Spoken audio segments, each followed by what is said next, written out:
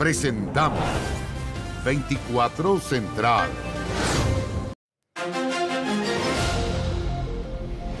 Muy buenas noches, bienvenidos, bienvenidas a las noticias. Comenzamos con un caso que ha provocado un gran impacto. El hecho de que esta mujer estuviera embarazada no fue impedimento para que estos dos hombres la amenazaran con armas de fuego para robarle su vehículo. El impacto fue tal que sufrió un aborto espontáneo. Estos hombres actualmente son objeto de investigación por parte de las autoridades policiales. Fueron captados caminando por la calle Américo Vespucio en dirección hacia la estación de servicio Copec, ubicada en la intersección con Vicuña Maquena. Ambos iban con su rostro parcialmente cubierto y son los principales sospechosos de un robo con intimidación. El día de ayer, alrededor de las 10-20 horas de la mañana, mientras la víctima se encontraba al interior del local Pronto Copec, fue abordada por dos sujetos desconocidos que la intimidan y le sustraen las llaves de su automóvil para posteriormente eh, sustraer el mismo y huir del lugar en dirección desconocida. Con armas de fuego intimidaron a la víctima que intentó evitar el robo de su auto modelo Gran Cherokee color negro. Producto de este hecho se produce un forcejeo con los sujetos y a raíz de esto la víctima es trasladada, al parecer por familiares, hasta el hospital de la Florida, donde posteriormente se constató que a raíz de, al parecer de estos hechos, la víctima habría sufrido un aborto espontáneo. La víctima de 23 años de edad tenía siete semanas de embarazo. El estrés sufrido por el violento hecho delictual tuvo graves repercusiones en su salud y lamentables consecuencias. Es uno de los crímenes, yo diría, más brutales que se pueden cometer. Tiene una pena alta eh, y yo espero que en esto se pueda aplicar todo el rigor de la ley. Es eh, ella la que debe decidir por dónde quiere eh, partir y nosotras vamos a acompañar si ella así lo desea. Fue dada de alta este miércoles y se encuentra en reposo en su casa. El programa Apoyo a Víctimas de la Subsecretaría de Prevención del Delito ha concurrido de manera presencial al Hospital de la Florida para ofrecer a la víctima nuestro apoyo psicosocio-jurídico eh, para ella y también para sus familiares. En el área correspondiente al cuadrante 163 de la 36 Comisaría de la Florida se registraron 23 casos de robos con intimidación durante el año 2023 y hasta la fecha ya se han reportado 20 casos. En cuanto a los robos violentos de vehículos, ha habido un aumento del 250% en comparación al año pasado.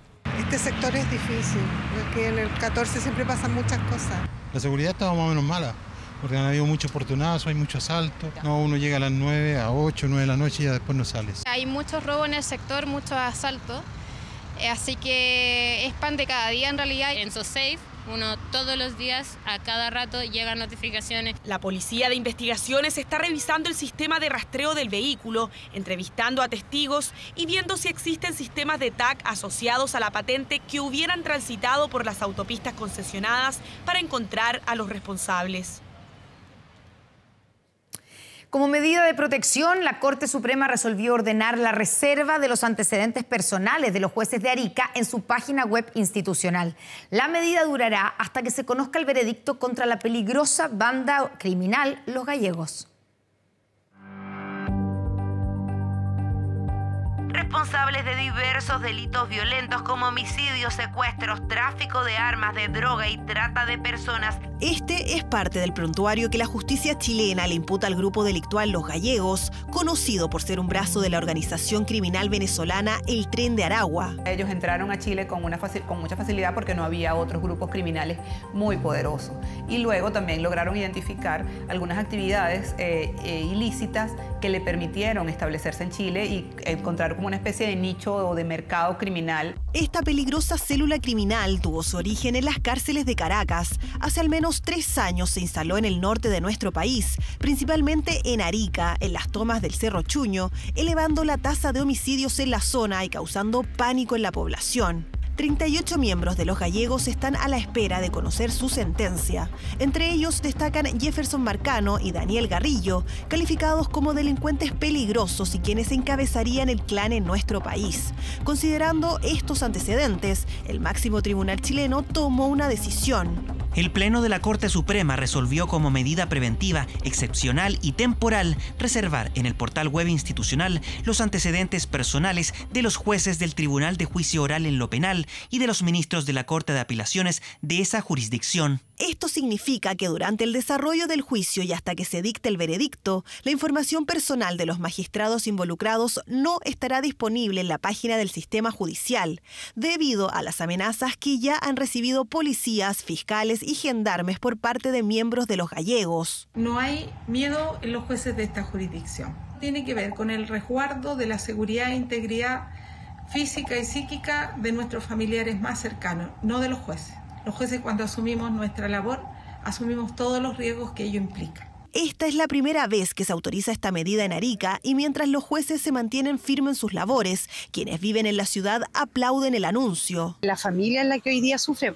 porque la familia hoy día Arica no, está súper peligroso y yo creo que más que nada es proteger a su familia. Cierto temor con los, con los jueces, porque de cierta manera se sabe que son bandas que están totalmente organizadas y que tienen poder. Desde la Comisión de Seguridad del Congreso también valoran la medida. Es una buena señal, mala señal la de la delincuencia, pero bueno que el Poder Judicial también esté protegiendo a sus miembros. Creo que el crimen organizado va corriendo los límites y acá se requiere una legislación más robusta de protección a todos aquellos servidores públicos que están involucrados en el combate al crimen organizado. El Poder Judicial asegura que la reserva de los antecedentes de los jueces mantendrá la independencia interna y externa de quienes intervengan en el juicio, reiterando que el objetivo es resguardar su integridad y poder enjuiciar sin problemas a esta peligrosa célula del tren de Aragua.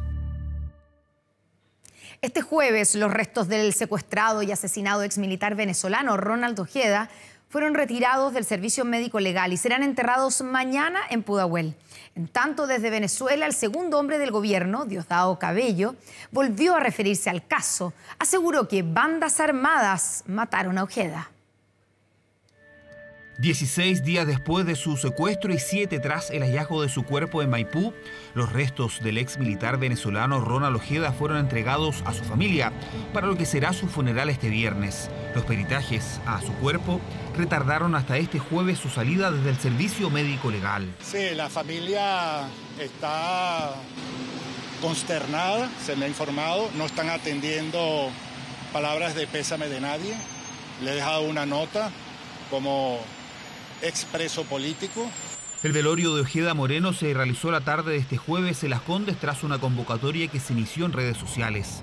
Su familia, que solicitó apoyo para costear parte de su funeral, agradeció por esta plataforma la ayuda económica. Gracias a todos por sus colaboraciones, ya han sido recibidas y destinadas a lo mismo. Muchas gracias. En medio de los preparativos para el adiós del ex militar se ha conocido en los últimos días el prontuario de uno de los sospechosos por el crimen de Ojeda Moreno. Walter Rodríguez Pérez, quien sería el principal líder del secuestro y homicidio y estaría vinculado al tren de Aragua, trabajó durante el 2015 según información de ex ante para el gobierno venezolano, específicamente siete semanas en el despacho de quien era gobernador Tarek El Aizami.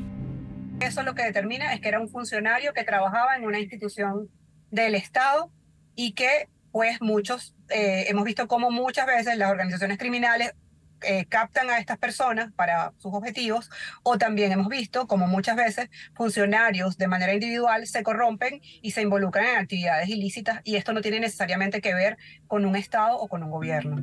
Rodríguez Pérez, de 28 años y supuesto cabecilla del operativo que terminó con el crimen del teniente en retiro venezolano, era investigado en Chile por secuestro y otros delitos graves. Las autoridades de nuestro país emitieron una alerta internacional luego de que dos sospechosos, entre ellos Walter Rodríguez Pérez, presuntamente ya no estén en Chile, luego de que su última señal de los teléfonos fuese detectada en Arica. Una de las cosas que vamos a evaluar son los reforzamientos que se ordenaron en esos días, en esas horas, digamos, a las distintas instituciones que intervienen en el control fronterizo. Porque para eso es que sirven las experiencias, ¿no? Para poder evaluar, para tomar decisiones, para mejorar. Por lo tanto, aquí lo que hay que hacer es eh, optimizar lo que hay para poder tener mejor eh, resultados en las tareas de eh, control y fiscalización y también en materia investigativa. El crimen del militar ha tenido eco en autoridades de ambos países.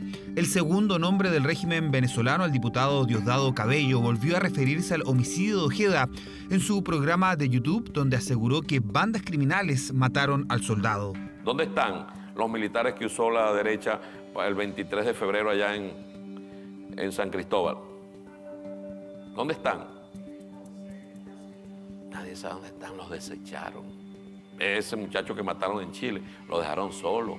Ahí lo mataron las bandas armadas, las bandas delincuentes de mafia, a las cuales pertenecen los Simonovis y pertenecen todos ellos. De 32 años, militar opositor al régimen de Nicolás Maduro, el móvil que llevó al secuestro y homicidio de Ronald Ojeda sigue siendo investigado. Sus restos serán enterrados este viernes en Pudahuel bajo medidas especiales de seguridad. Y esto se ha viralizado en redes sociales. Son los videos donde se enseña a extranjeros residentes aquí en Chile cómo poder retirar la plata que tienen en la AFP. El número de personas que opta por este mecanismo se ha multiplicado en los últimos años. Sin embargo, expertos y parlamentarios advierten de algunas consecuencias para la economía nacional. Quiero hacer mi retiro de la AFP y no sé por dónde comenzar. El primer requisito es que debes de tener el título técnico o profesional apostillado. Son tutoriales ultra viralizados en redes sociales y que en simples pasos explican a los extranjeros residentes en Chile cómo retirar su plata ahorrada en la FP. Recuerda que es tu dinero y que tienes derecho a disponer de él. Agenda con nosotros una cita en nuestro sitio web y retira tus fondos de la AFP. Requisitos para retirar el 100% de tus fondos de la AFP. Es un mecanismo que existe desde el inicio del sistema de pensiones y que permite a extranjeros con título técnico o profesional afiliados al sistema en su país de origen poder retirar su plata de la FP. El espíritu de la norma era que personas de otras nacionalidades vinieran a trabajar en un proyecto específico y luego se llevaran los ahorros a su país sin impactar su jubilación. ¿Te gustaría sacarlo? Sí, sí. En esta altura sí, porque necesito, porque ahorita estoy sin trabajo tengo una guaguita. Todos pensamos siempre en el momento, no pensamos en el futuro, en, el, en lo que viene.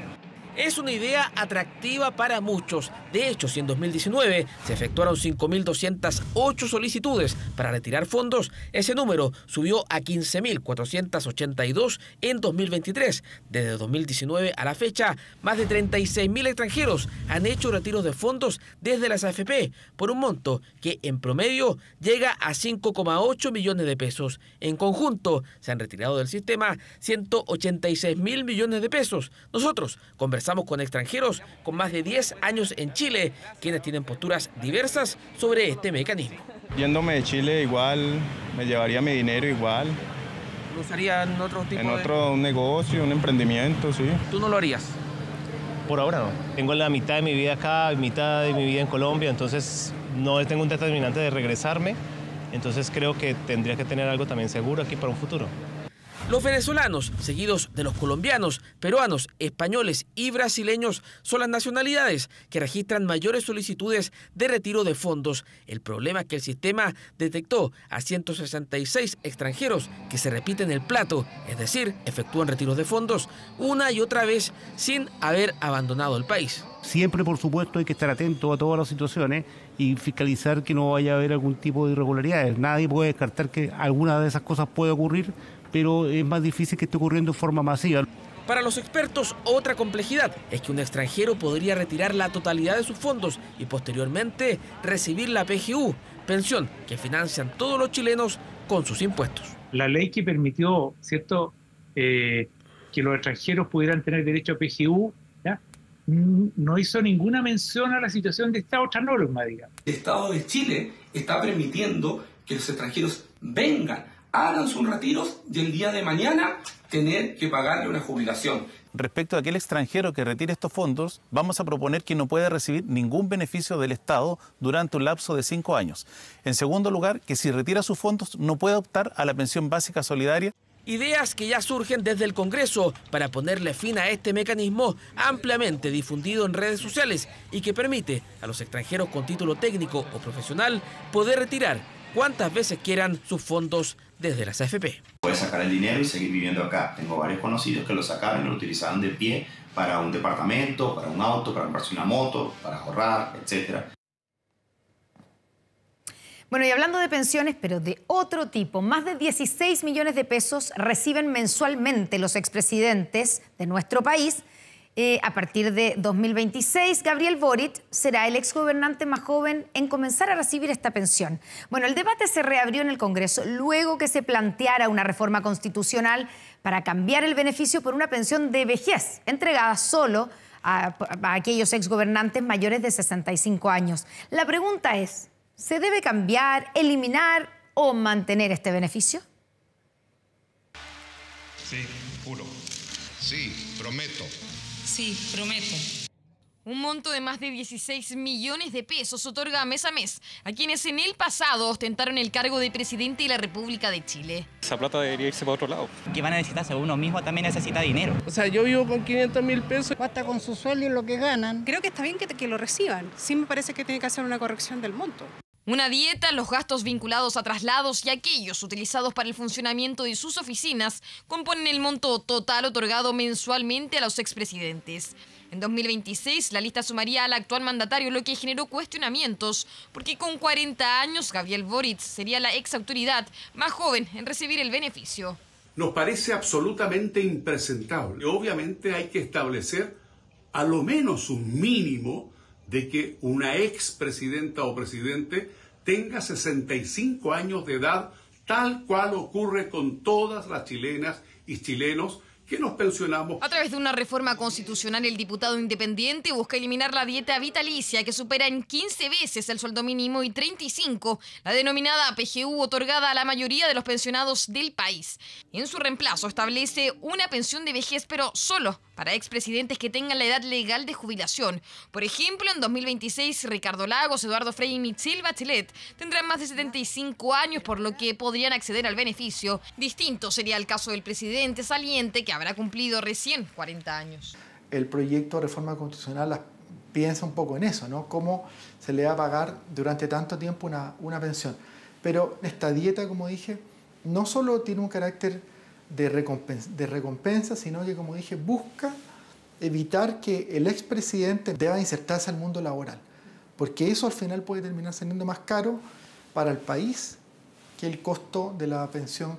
No es primera vez que en el Congreso se presenta una iniciativa similar apuntando a los elevados montos entregados a los exgobernantes.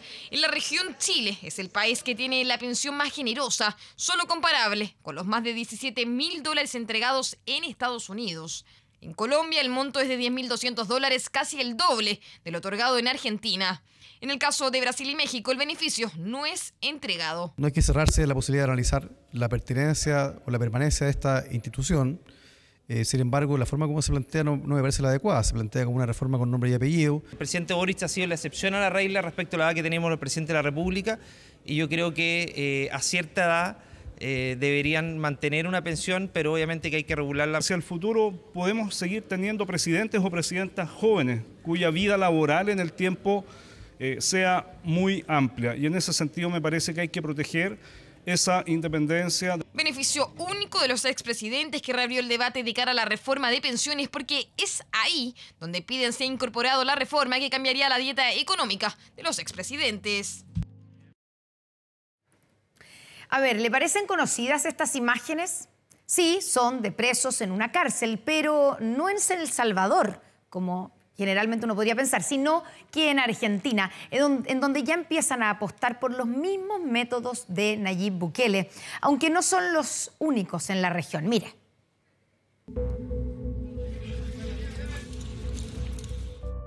La batalla contra las pandillas y la creación de una mega cárcel se convirtieron en el símbolo de la gestión del presidente de El Salvador, Nayib Bukele, un recinto con una capacidad máxima para 40.000 reclusos, donde la mayoría de ellos pertenece a las violentas maras Salvatrucha y Barrio 18. Ahora, más de 5.800 kilómetros de distancia, en la provincia argentina de Santa Fe, el modelo se replica.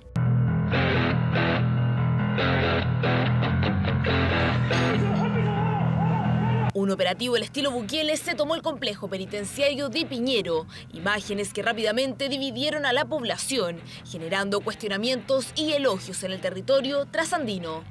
Prácticamente la totalidad de los jefes de bandas eh, narcocriminales están detenidos. Lo que se adopta sobre todo es una especie de estética, ¿no? y lo que nos transmiten estas ideas, en principio, estas imágenes, en principio sería que la situación está bajo control. ¿no? ¡Vamos de rodilla al piso, al piso! Tras la medida, el gobernador de la provincia advirtió a los presos que cada vez la van a pasar peor. Duras palabras que se suman a las de la ministra de Seguridad, Patricia Bullrich, quien aplaudió la decisión. En Rosario, el gobernador Puyaro actuó con claridad. Felicitaciones, gobernador. El que las hace, las paga. Con anterioridad, la ministra elogió el método utilizado por el presidente Bukele, quien hace unas semanas se refirió a la crisis de seguridad en Argentina. Nosotros hemos ofrecido oficialmente a la ministra Bullrich eh, no asesoría, porque creo que no, no es esa la palabra, sino la colaboración que ellos necesitan en todos los temas de seguridad. El problema en Argentina es más pequeño, preocupante, sobre todo en Rosario y en algunas zonas. Una violencia desmedida azota esa ciudad argentina, incluso tras el anuncio de implementar el método Bukele en las cárceles. Dos taxistas fueron asesinados, crímenes que desde el gobierno trasandino atribuyen a una venganza del narcotráfico. La situación en Rosario es excepcional dentro de la Argentina. La tasa de homicidios dolosos en la ciudad de Rosario triplica a, a la tasa de homicidios en el país en un contexto donde el, territorio es objeto de disputas. Ola de crímenes que provocó que desde el gobierno provincial decidieran implementar el controvertido método salvadoreño en los recintos penitenciarios, tal como lo hizo Ecuador hace unos meses. Ponga atención a este insólito robo que sufrió una analista en finanzas luego de retirar 22 millones de pesos en efectivo desde su cuenta. Bueno, ladrones pincharon su rueda, la rueda de su vehículo, para engañarla con una supuesta ayuda. Pero abrieron la puerta, le quitaron la mochila con el dinero de una herencia. Ay, pero qué buena persona este hombre. Súper atento, qué ganas de ayudar. Un tipo solidario pensó la conductora justo que su auto presentaba problemas. Aquí adelante hay espacio, se puede detener, le comentaba haciendo gestos con las manos. No era un estacionador informal, pero sí quería una propina y una bastante millonaria. Fue todo tan rápido, pero como que a ella le dijeron que ah, lo que comentó de que en la rueda tenía algo, lo típico que cuentan del cuento del tío que hacen ese, esa trampa. Supe como que era un robo porque ella dijo como que no iba a poder recuperar su plata. No supe que algo le había pasado por eso. La supuesta intención de ayudar se esfumó en un instante. Abrió la puerta trasera y se llevó una mochila con 22 millones de pesos en efectivo ante la mirada atónita de la víctima que recién bajaba del vehículo. Siente un ruido extraño en la parte posterior de su vehículo, procediendo a estacionar el vehículo. Se le acerca un sujeto desconocido ofrecerle primeramente ayuda y posteriormente eh, abre la puerta posterior del vehículo y sustrae la mochila contenedora del dinero que ella había retirado de la entidad, huyendo en dirección y medios desconocidos.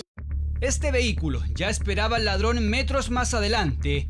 Luego de forcejear con la hija de la víctima que iba con el dinero, corrió hacia allá para escapar había retirado el dinero a las 2 de la tarde en esta sucursal bancaria, correspondiente a una herencia. Solo avanzó 600 metros, unas cuatro cuadras, cuando la atacaron aquí. Es un sector próximo a la moneda. Creemos que porque vamos en un auto o porque vamos con más gente, no nos va a pasar nada, porque la seguridad ya está demasiado vulnerada. Yo mismo he ido a retirar cosas, porque, eh, o sea, plata, y uno está en la ventanilla expuesto y está la cola detrás. Que no dejen que la gente esté con celular adentro y, tener y saber la gente que entra a buscar plata y todo, que los guardias estén más atentos. Según la investigación, marcaron a la mujer al momento de cobrar un vale vista. La siguieron por varios metros hasta el momento que se estaciona. Cuando apagó el motor, las puertas se abrieron. Aquí hay una información de una persona que está al interior, seguramente haciéndose pasar por cliente, que está viendo quiénes son las personas que retiran alta suma de dinero. Obtienen una víctima y a partir de eso viene todo lo que ya está planificado. Este delito comienza dentro del banco, pero termina en la calle. Llegar en un vehículo y retirarse en otro, ir acompañado, pedir ayuda al ejecutivo con antelación son algunos consejos. La persona que retira una alta suma de dinero tiene que salir absolutamente convencida que es un blanco que puede ser víctima de este delito. O sea, eso es lo primero. Algunas opciones que recomendamos para evitar portar dinero en efectivo son servicios de pago alternativos como la transferencia electrónica de fondos, las tarjetas de débito y crédito y el uso de vale vista. Y por si quedaban dudas, el vehículo de la mujer tenía la rueda derecha trasera pinchada. Se presume que por acción de la misma banda, la que es buscada por la PDI. ¿Ha notado cómo suben y suben los huevos? Bueno, el precio de este alimento, que es fundamental y además riquísimo, no ha dejado de elevarse desde que comenzó el año. De hecho, en la última semana subieron casi un 15% y su valor solo descendería hacia la primavera. Siempre hay quien considere que el precio de los huevos está perfecto. Está mucho más barato. De aquí a ¿Más barato? Sí, más barato. Pero a pocos pasos de ella, Desde el momento cuando llegó a estar a 2009, hoy día pagar 5.008 está como más del doble. y hay quien debió cambiar hasta sus hábitos exclusivamente porque el huevo, nos dice, está muy caro. Yo he comprado 1.300 una bandeja, ahora ya vale 7.000 pesos una bandeja. Por los miembros de la familia no se puede bajar la cantidad, entonces el bolsillo obviamente se achica para otras cosas. Y a Georgina el asunto le ha tocado muy de cerca. ¿En tu casa cuántas personas componen el grupo? Cuatro. ¿Cuántos deportistas hay? Dos. ¿De qué edades? Uno es de 30, que él hace pesa, hace sparring, él requiere los huevos. La opción de nosotros es solamente ahorrar en otras cosas para seguir consumiendo el huevo. ¿Y en qué has tenido que ahorrar, por ejemplo, para poner un ejemplo? En carne se eliminó casi las carnes rojas. Las carnes rojas no las come. Ya no, ya, no. Lo confirma comprando una bandeja de huevos, porque el día a día de su hijo lo exige, en un local de la Vega Central. Sí, está altísimo, está subiendo el huevo. Lo que pasa es que hay poco huevo en este tiempo. Solo en la última semana la docena del huevo blanco grande aumentó su valor en prácticamente un 15%. De hecho, desde la primera semana de enero el precio ha tenido un alza de 39% hasta ahora. El ascenso en el precio ha sido constante este año influido por una suma de factores. Por un lado tenemos la guerra entre Rusia y Ucrania que encarece los costos de producción debido a un aumento en el precio del maíz y por otro lado también tenemos la gripe aviar El precio de los huevos está demasiado elevado. En menos de 15 días han subido dos veces. Y cuando surgen esas manifestaciones del mercado, surge también el fantasma de la colusión detrás de ellas. Te encuentras con cientos de emprendedores que se dedican a ello. Entonces, claro, ninguno de ellos tiene la fuerza suficiente como para poder elevar por sí solo el precio. Yo creo que colusión o algo parecido es poco probable en ese mercado dado lo atomizado que es. De que el huevo está caro, está caro en relación a lo que costaba antes de que la gripe aviar golpeara al mercado en 2023. Eso obligó a sacrificar planteles completos de producción, reduciendo la oferta y elevando el valor del huevo. Pero esa gripe aviar fue superada en Chile. sin embargo, con un costo mayor para las empresas, con un tipo de cambio más depreciado y con un aumento en el precio del petróleo que encarece los combustibles y por lo tanto los costos de transporte. ¿Echas de menos las carnes, las carnes rojas? Pero de todas maneras, así. ¿Cuál te gustaba harto? Un aceite de abastero. ¿Podrá Georgina volver a comer carne y no arrancarla de su dieta en pos del huevo que debe llevar a su hijo? Quizás sí, aunque no de inmediato. Tú empiezas a decir, oye, mira, este producto está mucho más atractivo en términos de margen de rentabilidad y por tanto agranda el plantel. ¿Y eso podría estabilizar los precios? Y eso te puede hacer caer el precio. Por lo pronto, y aunque consiga estabilizarse, el precio debería mantener el nivel que le conocemos hoy. En un mes más sube un poquito más y ahí se mantiene. Hasta septiembre más o menos cuando pone ahí va lo que es el tiempo.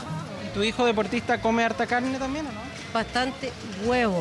¿Él no aporta de repente con un poquito para las Por supuesto que sí, a raíz de esto. ¿Él paga los huevos enteros o un porcentaje? Un porcentaje. Formas para enfrentar un precio del huevo que este año ha subido sin detención. Y vamos a tener que esperar hasta la primavera para que baje. Polémica se generó en la comuna de Villa Alegre tras la denuncia de que se desmanteló sin aviso la sala de recuerdos de Felipe Camiruaga en el Museo de la Comuna. El curador de la familia asegura que una serie de elementos del fallecido animador de TVN fueron retirados de una sala y quedaron apilados en el suelo. Felipe Camiruaga. Querido por muchos, su simpatía y carisma son difíciles de olvidar, más aún sus travesuras en el matinal. Ah, sí, yo no, chuteo derechito al arco, derechito al arco, chuteo yo. Cuidado, no, pero cuidado, que, que sigue esta cuestión hoy.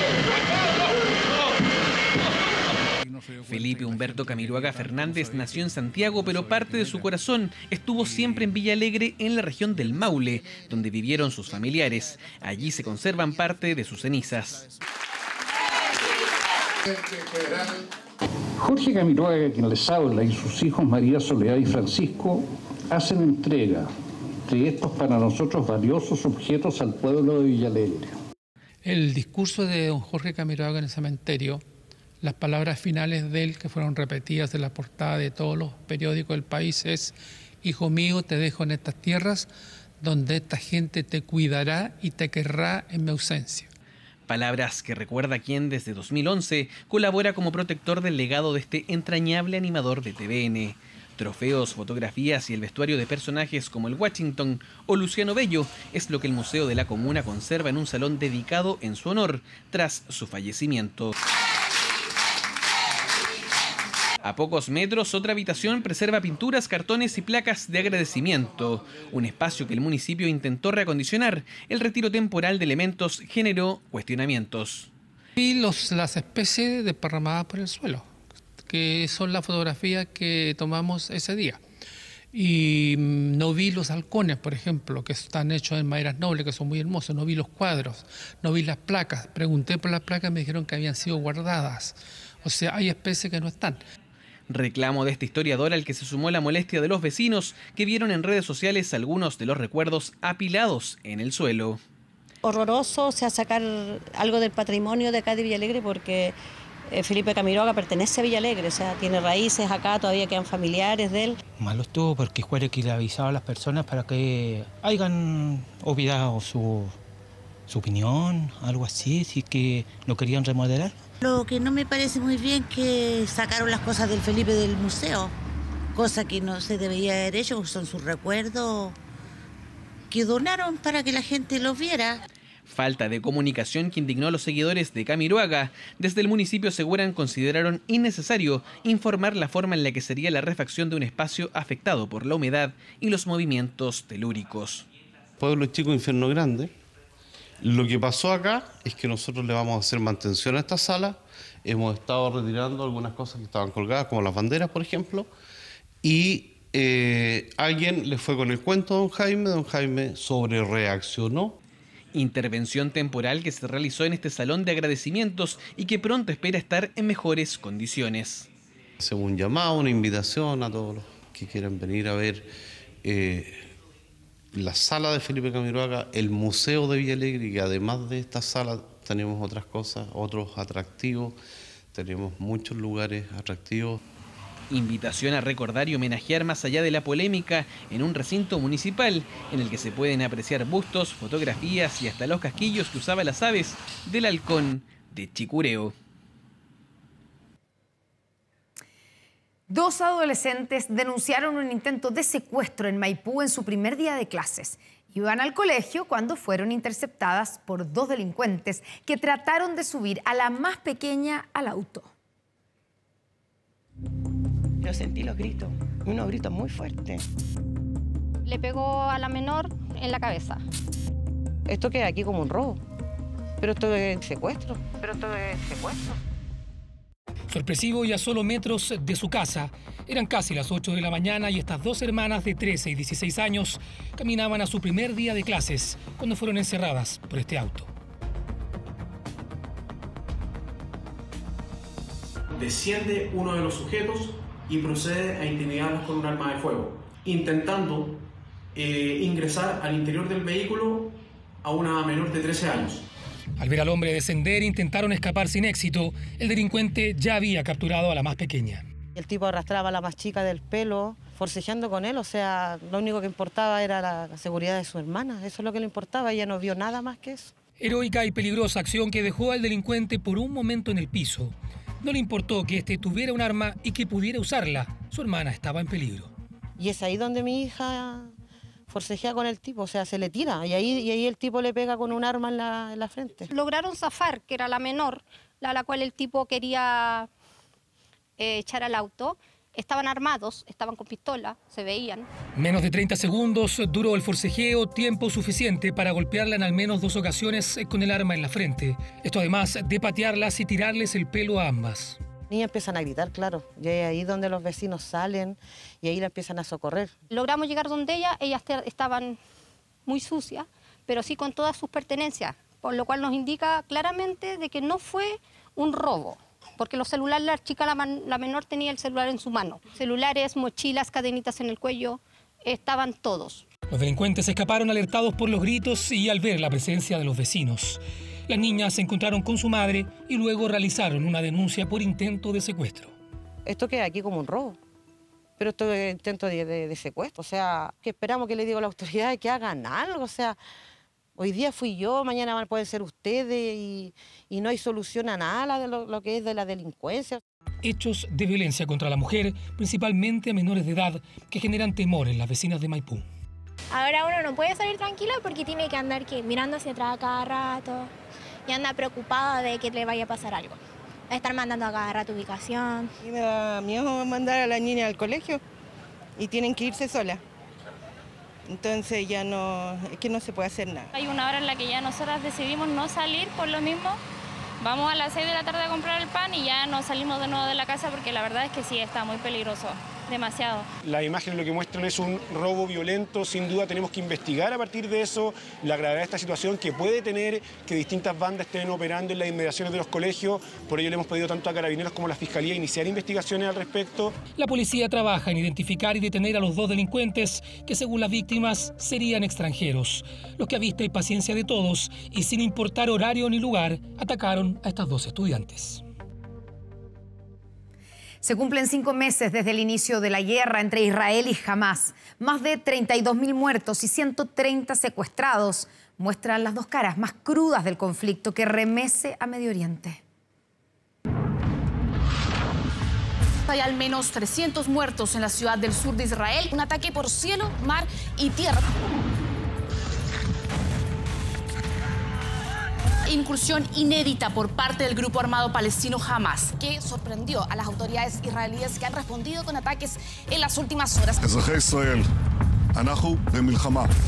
Inédito, sorpresivo, sin precedentes. El 7 de octubre de 2023 pasará la historia como el inicio de la peor escalada bélica en el conflicto palestino-israelí. A cinco meses de ese día, la franja de Gaza es el epicentro de las dos caras más duras de la guerra, una grave crisis humanitaria y un centenar de rehenes aún cautivos. Tenemos enfermedades y no podemos tratarlas. Nuestras escuelas y familias desaparecieron. ¿Qué hemos hecho para merecer este sufrimiento? De acuerdo con la ONU, el 85% de la población en Gaza se ha visto obligada a dejar sus hogares por el asedio israelí, que ha dejado un 60% de la infraestructura del enclave dañado, destruida, y un bloqueo por aire, mar y tierra. No tenemos nada, ni agua, electricidad, ni gas, ni comida. Estamos sufriendo en todos los peores niveles posibles.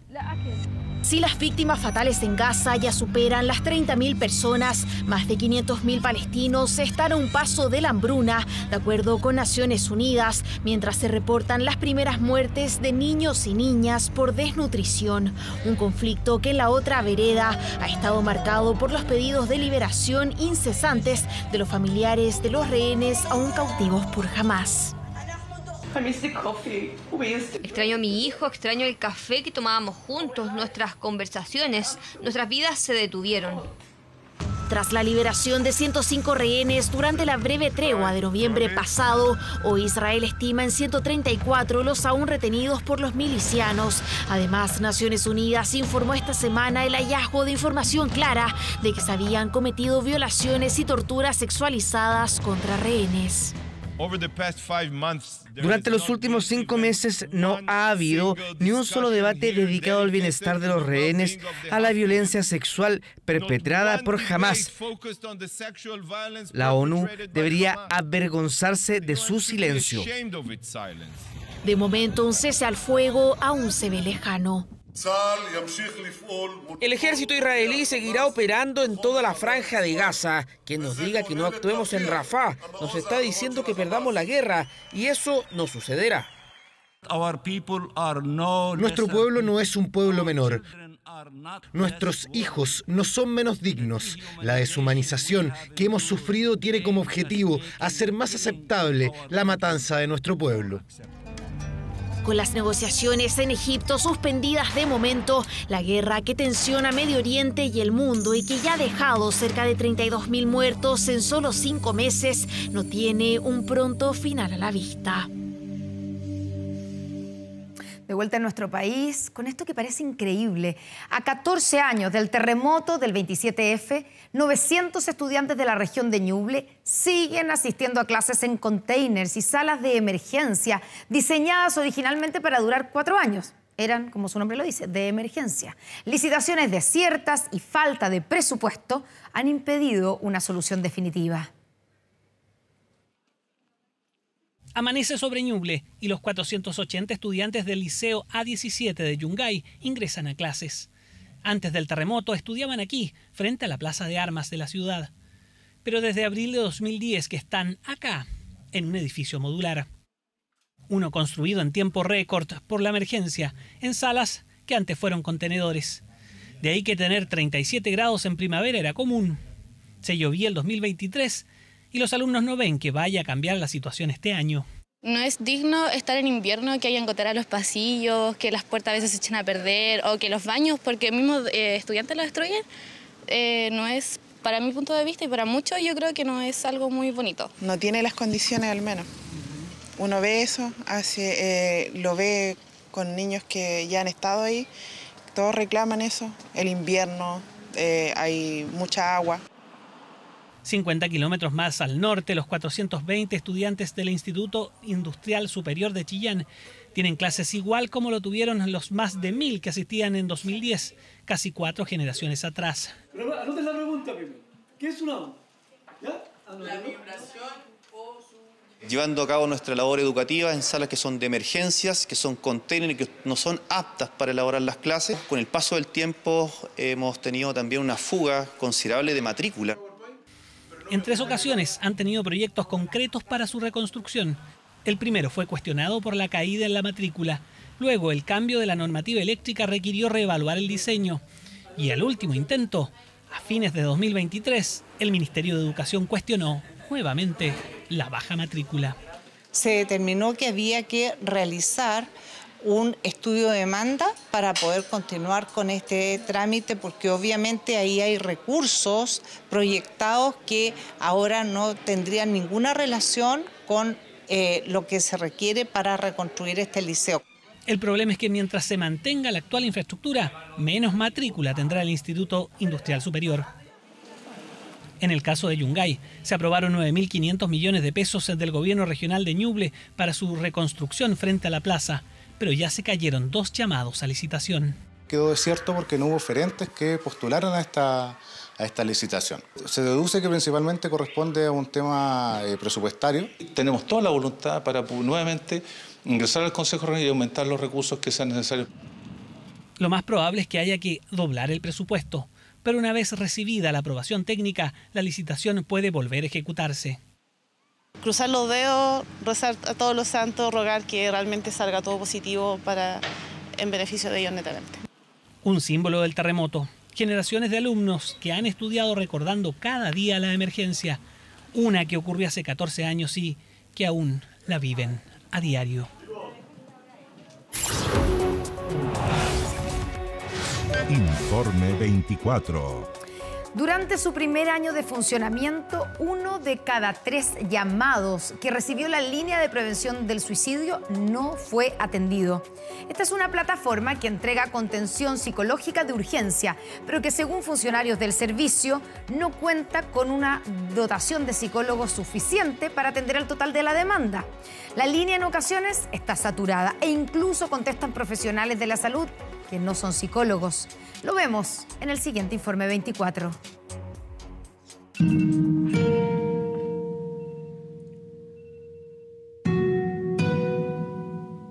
Una severa crisis los hizo necesitar con urgencia contención psicológica. Que la gente tienda a encasillarte, a tildarte de loco o de cobarde. Llamaron esperando ayuda, pero no obtuvieron respuesta. Que no sea así es triste, da rabia, pero yo creo que en el momento da más pena que otra cosa. En el último año, uno de cada tres llamados a la línea de prevención del suicidio no fue atendido. Funcionarios del Ministerio de Salud incluso denuncian falta de dotación para cubrir un servicio que puede salvar vidas. Y estamos dando abasto con con el usuario que alcancemos a atender en el tiempo que tenemos, pero en efecto queda mucho eh, usuario fuera.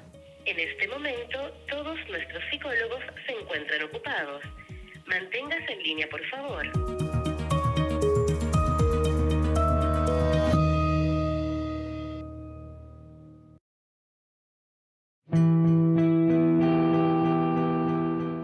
Diversos problemas personales fueron socavando las ganas de vivir de esta joven de 23 años.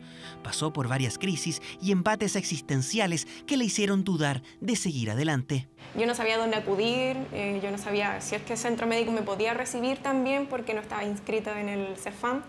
Fue un fin de semana de septiembre, se sentía mal, pero sabía del Fono de Atención Gratuita de Prevención del Suicidio, el asterisco 4141. Optó por este recurso para tratar de sobreponerse al oscuro pensamiento que la acechaba. Fue un domingo, me acuerdo, fue bien temprano, fue como a las 10 de la mañana. O sea, temprano para hacer un domingo, la verdad. Eh, y sí, estuve harto rato de que recuerdo como que estuve desde las 10 hasta las 11 de la mañana intentando contactarme con este número. La joven relata que marcó el número en reiteradas ocasiones, pero que en todos sus intentos no obtuvo respuesta. Primero no conectaba, no conectaba, no conectaba. Ya después con otro intento era simplemente como que cortaban nomás o que no habían profesionales disponibles y todo el rato lo mismo. Entonces ya después como que me rendí con respecto a eso. A esa altura ya estaba desesperada. Incluso llamó a carabineros por ayuda, quienes enviaron una patrulla a su casa. Luego llegó una ambulancia. Con el paso de las horas pudo atenuar su crisis a pesar de no haber podido contactarse con el teléfono que debía ayudarla en ese momento tan crítico. Con el hecho de llamar siento que ya le están como entregando cierta confianza al sistema, entonces que los rechacen para mí incluso llega a ser violento, la verdad.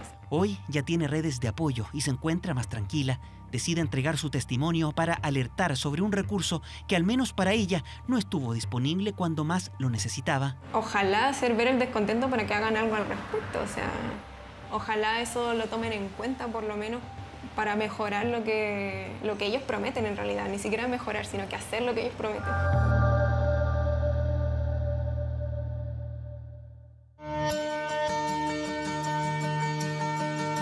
Con el eslogan No estás solo, no estás sola, se presentó en enero del año pasado la línea de prevención del suicidio asterisco 4141, un teléfono gratuito en donde un equipo de psicólogos está disponible para realizar la contención necesaria en caso de una ideación suicida. La línea atiende 24/7, incluidos eh, festivos, feriados, fines de semana, domingo. Y son turnos eh, de día y turnos de noche. No tienen que pedir hora para atenderse directamente con un psicólogo. En la línea de prevención del suicidio se habla directamente con un psicólogo especializado en atender crisis con ideación suicida.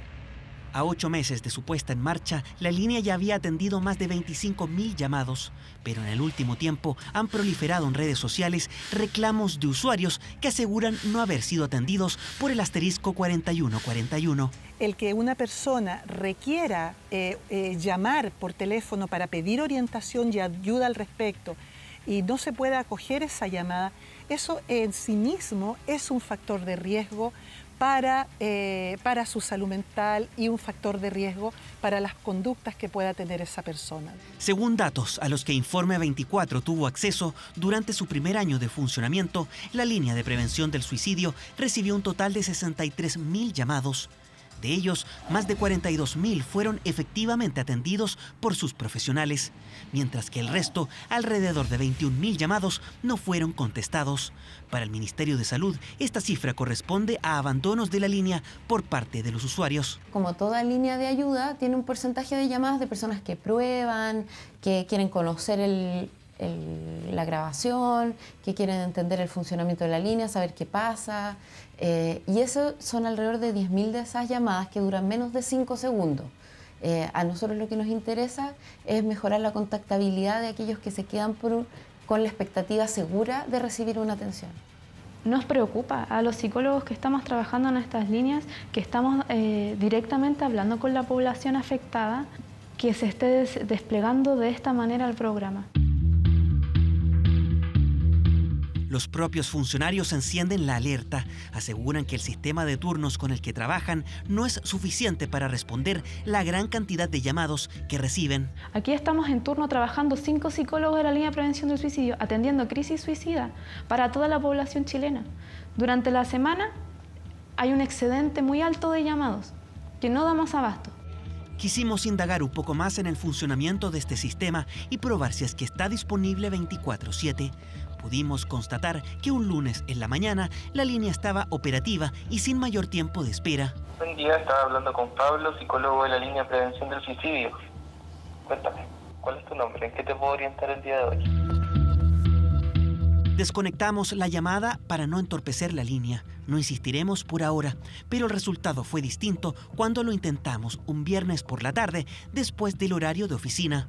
En este momento, todos nuestros psicólogos se encuentran ocupados. Manténgase en línea, por favor. Ya le contaremos cuánta fue nuestra espera y quién respondió.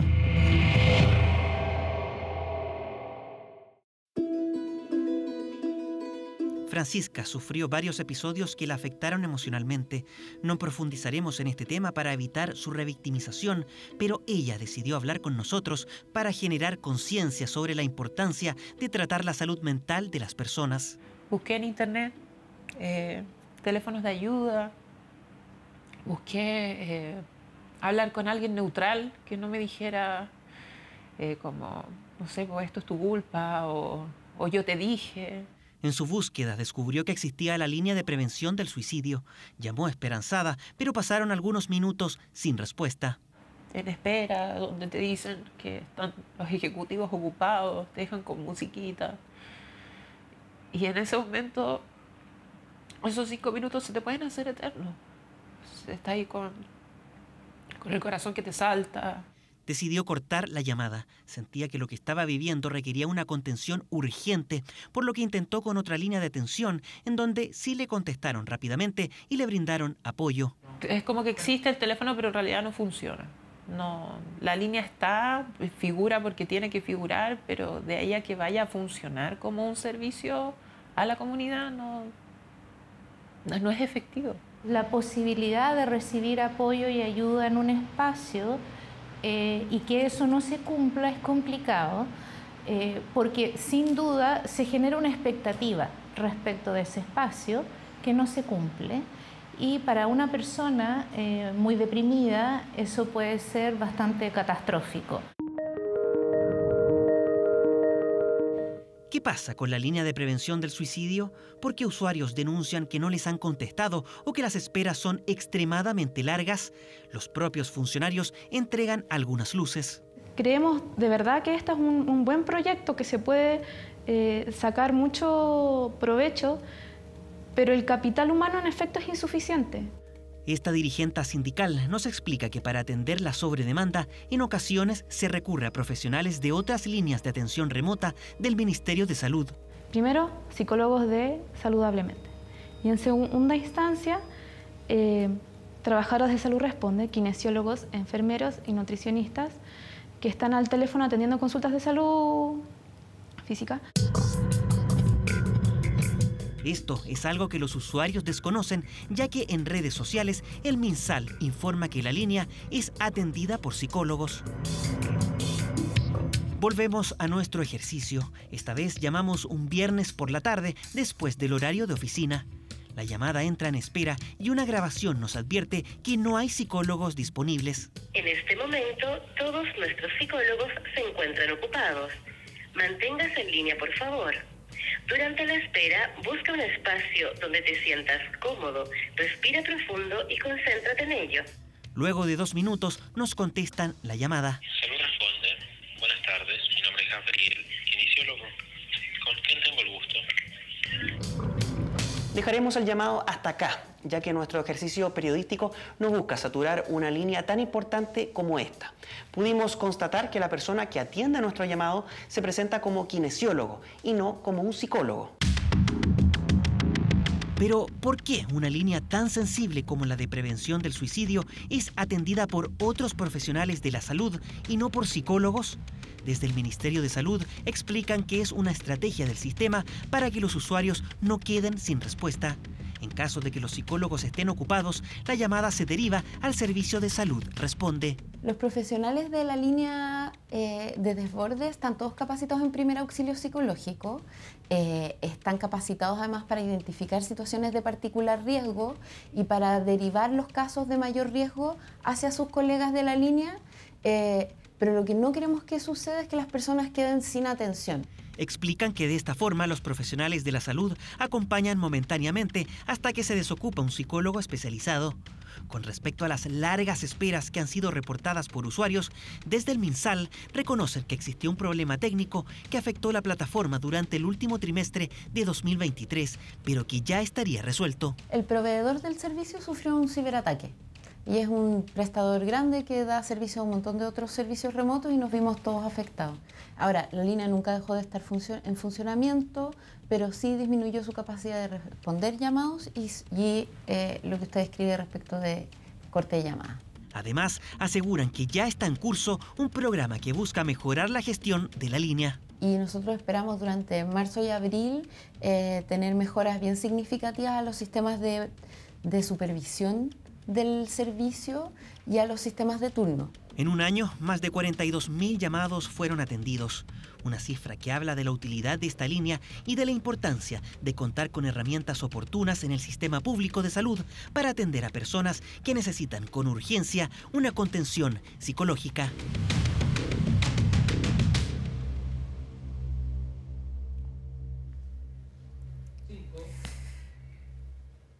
Faltan minutos para las 10 de la noche. Les recordamos que a partir de esta hora, Televisión Nacional de Chile está autorizada a transmitir programas para mayores de 18 años. ¿Se imagina estar sin luz y sin agua por más de dos años? ¿Dos años? Bueno, esto es lo que le ocurrió a un cliente en la ciudad de Posadas, en Argentina. No pudo más con su desesperación. ¿Saben lo que hizo? Destrozó una de las oficinas de la empresa de energía en Misiones. No tiene luz hace años. Ha reclamado innumerables veces y ni siquiera le han instalado el medidor. Tampoco tiene agua potable. No aguantó más y justo cuando era su cumpleaños protagonizó el día de furia de su vida. ¿Por qué criatura? ¿Qué voy a hacer? ¿No voy a la casa sin luz? No, vamos de nuevo. Hace dos años que estoy con esto. Vamos por tres años. Ocurrió en Posadas, Argentina. El escenario, la oficina de la empresa distribuidora de electricidad. La indignación de este padre y familia por la falta de respuestas del ejecutivo que lo atendía terminó así. Y se fija en la computadora y dice, ¿por qué fuiste a defensa del consumidor? Se fijaron tres veces. Tres veces me dijo lo mismo, ¿por qué fuiste a defensa? Nosotros tenemos 20, 30 abogados. El hombre este que está sentado ahí me amenazó diciendo, tenemos 20, 30 abogados, tenemos un tas de abogados, como diciendo, no vayas más. Lo acompañaban su esposa y una hija, pero ni ellas mismas lograban calmarlo. Otros clientes prefirieron postergar por las dudas sus propias consultas, hasta que este vecino terminara de volcar toda su indignación. Nada lo detuvo, ni siquiera la advertencia de una denuncia por parte de la empresa de energía de emisiones. Furor desatado que trajo a la memoria imágenes como estas, las de un comercial de un oficinista en Chile y un remedio para calmar los nervios. que no se puede trabajar así, se cayó el sistema, Teclado, ahora no funciona el teclado por la así no se puede trabajar.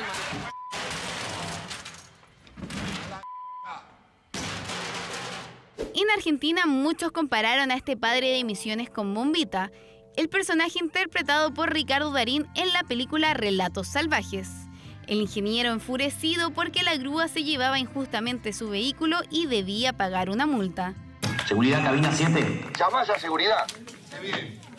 Yo estoy haciendo un reclamo, me estoy defendiendo como un ciudadano y soy un delincuente. Tenés que llamar a seguridad. llamar a seguridad?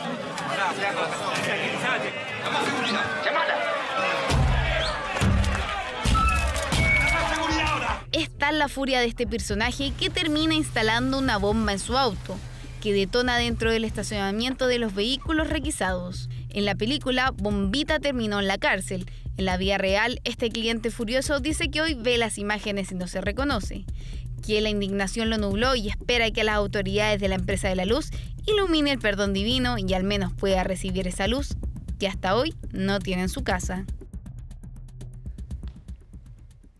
Todavía no tiene luz. Bueno, aquí de vuelta en nuestro país, el Consejo Municipal de Las Condes aprobó la propuesta de renombrar la avenida Cuarto Centenario como Avenida Presidente Sebastián Piñera. La iniciativa fue impulsada por la alcaldesa Daniela Peñalosa para honrar la memoria del expresidente y también vecino de la comuna de Las Condes.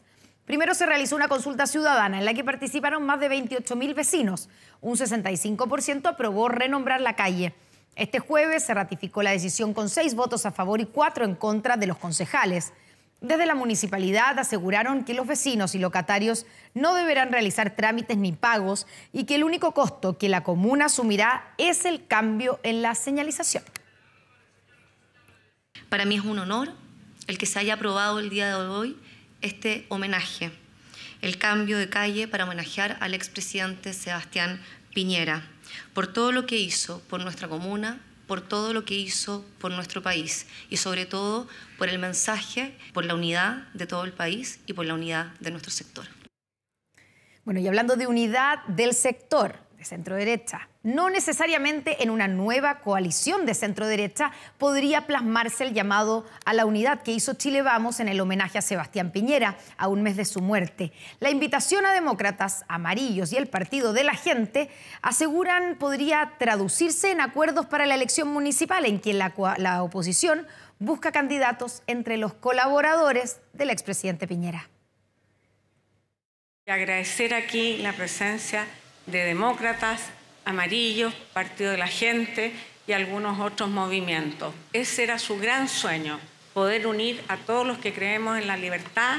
Sueño de una sola gran coalición del expresidente Sebastián Piñera que se plasmó inicialmente en un compromiso transversal de los partidos que dijeron presente en el homenaje realizado el pasado miércoles. No tengo idea si será nueva coalición o no, o no. unidad.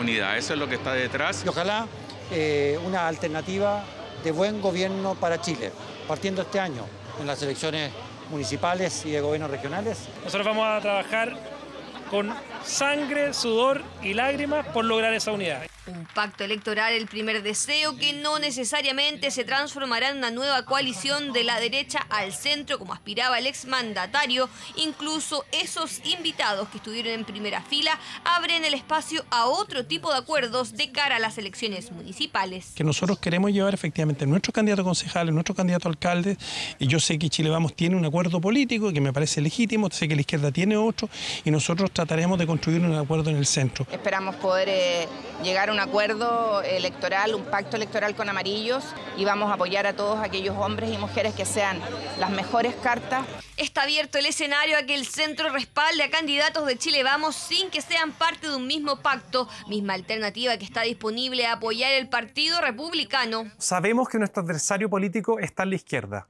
Y si bien nuestro proyecto político es distinto al de los otros partidos del sector, no nos perdemos ni un segundo. Nos vamos a coordinar con el resto de los partidos para encontrar a nuestras mejores personas y para eso no es necesario un pacto político. Búsqueda de cartas que abre tensiones en la derecha si de la municipalidad de Las Condes se trata. Republicanos no descartó presentar un candidato y la disponibilidad de Marcela Cubillos, ex militante de la UDI, tensión al gremialismo que tiene a Daniela Peñalosa como carta a la reelección. Es en Las Condes donde se ha producido este conflicto que puede generar una división innecesaria en la derecha. Las Condes no puede ser un poco de conflicto, por eso estoy convencida que es ahí donde yo puedo construir esta alternativa de consenso. Conversar con esos liderazgos, con ella por cierto también, sobre dónde pueden aportar más. Eh, yo lo he dicho en días anteriores, para mí el sector oriente eh, de Santiago es evidente que va a tener alcaldes de la actual oposición. El futuro de Cubillos como candidata por las Condes dependería si Daniela Peñalosa decide ir por la reelección. La disponibilidad de la ex ministra de Educación de Sebastián Piñera, eso sí, no es la única de los ex colaboradores del fallecido mandatario, donde otros nombres, como los de Rodrigo Delgado, Jaime Belolio, Carla Rubilar, se encuentran en reflexión para ver si podrían aportar como candidatos en la próxima elección municipal. Apenas el 19% de la matrícula de primer año de las carreras eh, relacionadas con ciencia, tecnología, ingeniería y matemáticas está representada por mujeres. Una brecha que luego además persiste en la obtención de financiamiento o en el liderazgo de centros de investigación. Hoy conoceremos cómo una astrónoma y comunicadora de la ciencia trabaja para que las niñas sepan desde pequeñas que ellas también pueden Francisca Contreras está hoy en Mujeres, lo que vivimos, lo que somos.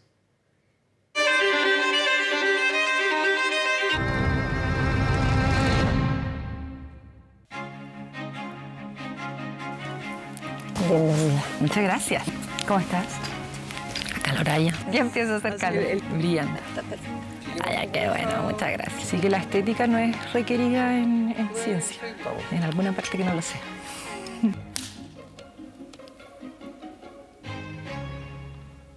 ¿Cómo fueron tus comienzos? Desde muy chiquititas tenemos ciertas diferencias que tienen que ver con género y que moldean esta inseguridad. Estuve en un colegio de mujeres desde séptimo a cuarto medio. Por lo tanto, siento que nunca crecí en la sombra de alguien. Cuando empecé a entrar a espacios mixtos, me di cuenta que los profesores, por ejemplo, le ponían más atención al compañero varón cuando ambos teníamos igual de buenos resultados.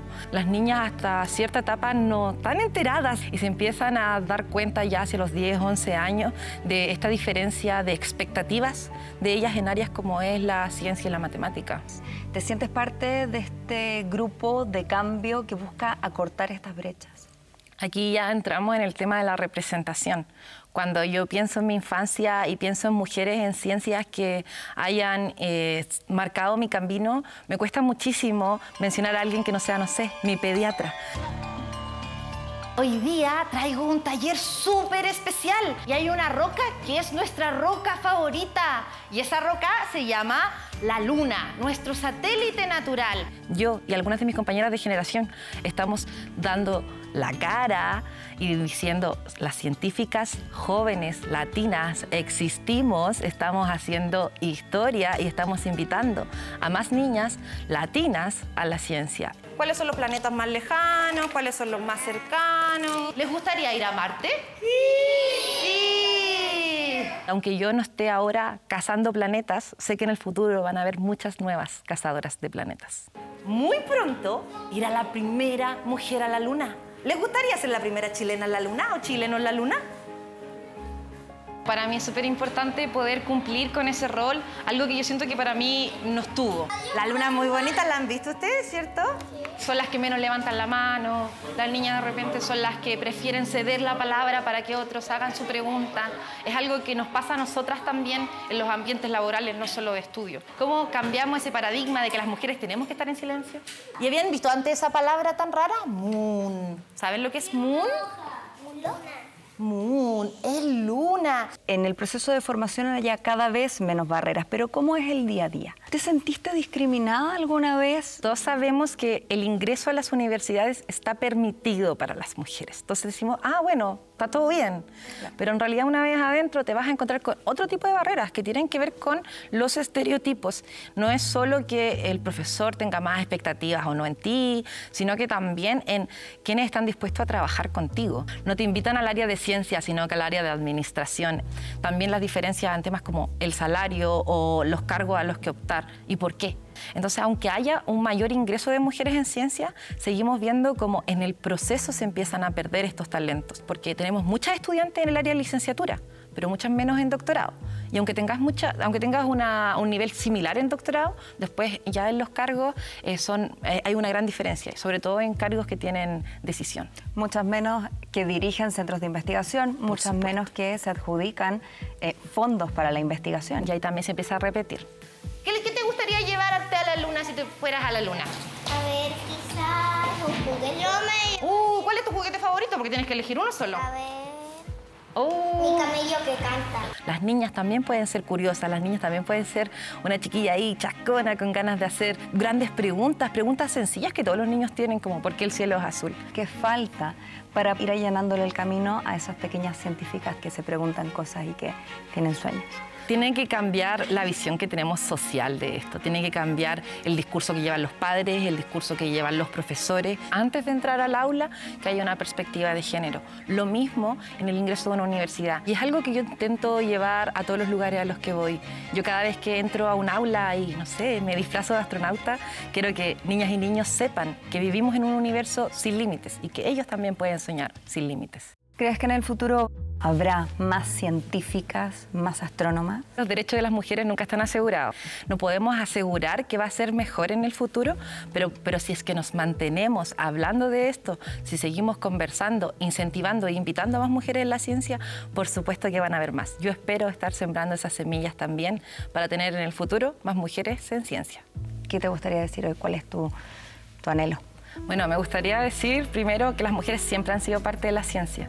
No es que las mujeres tengamos ah, una nueva, nueva perspectiva que aportar. Las mujeres siempre hemos sido parte de la ciencia. Y lo segundo es un consejo para las niñas, jóvenes y mujeres que están enfrentándose a carreras masculinas o a cosas que han sido dichas socialmente que son para los varones, que no teman de sentirse apoyadas por sus madres, por sus abuelas, por sus hermanas, pero principalmente por sus compañeras, porque el hacer redes les va a permitir enfrentar con seguridad los problemas del día a día.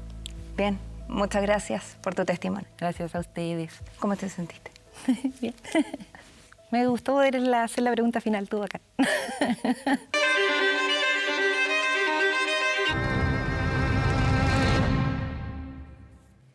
Un testimonio inspirador, sobre todo para las niñas, que sepan que ellas también pueden. Y hablando de las mujeres, este sábado por las pantallas de TVN se emitirá el primer capítulo de la serie documental 10 chilenas que están cambiando el mundo.